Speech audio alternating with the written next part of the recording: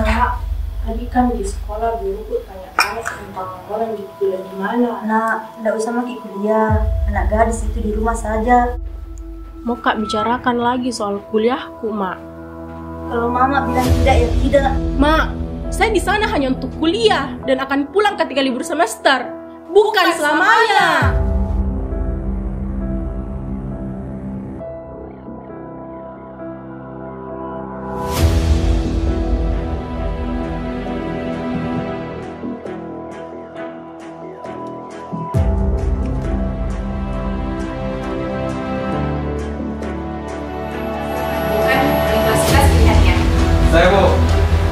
rencana bu, saya mau lanjut di Universitas Negeri Makassar.